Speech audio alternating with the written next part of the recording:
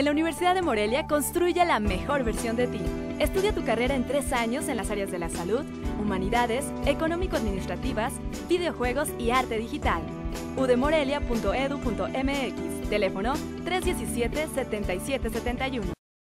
Comisiones de Derechos Humanos y Trabajo y Previsión Social del Congreso de Michoacán alistan una iniciativa de ley de inclusión laboral para personas con discapacidad. La propuesta que se representará al Pleno del próximo martes prevé obligatoriedad para los ayuntamientos y estímulos fiscales para el sector privado. Se incrementa el porcentaje al 3% y en donde se hace eh, de manera más firme y, ¿por qué no decirlo?, con algunos estímulos fiscales a quien contrata para poder generar mayores oportunidades a las personas con discapacidad. De aprobarse la iniciativa, los ayuntamientos deberán emplear a un número equivalente de 3% de su nómina de personas con discapacidad. Se fiscalizaría que lo cumplieran.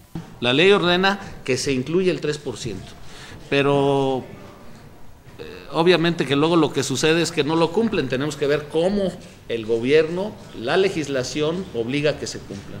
En el caso del sector privado, para que emplee a personas con discapacidad, se propone darle estímulos fiscales, sobre todo en el impuesto sobre la nómina de no más del 25%. Lo que hay es un descuento, eh, digamos, en términos de las promociones para las empresas en el ámbito de lo privado, ¿no? Una disposición de, incentivo fiscal.